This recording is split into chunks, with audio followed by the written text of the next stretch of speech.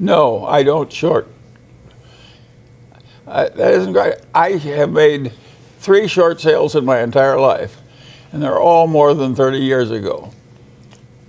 And and and and one was a currency, and and and there were two stock trades. In the two stock trades, I I made a big profit on one and made a big loss on the other, and they canceled out. And I and on my currency bet, I made a million dollars, but it was a very irritating way to make a million dollars. I, I'm I, I I've stopped. Not worth the headache, I guess. Well, you can laugh, but that but that's that's true. It was irritating. Because you were worried? Well, because they kept asking for more margin. I kept sending over treasury notes. It was very unpleasant. I made a profit in the end, but I never wanted to do it again.